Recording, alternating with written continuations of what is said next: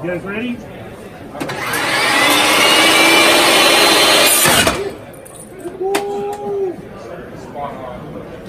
Let's see what we got. Anything? Just this right here.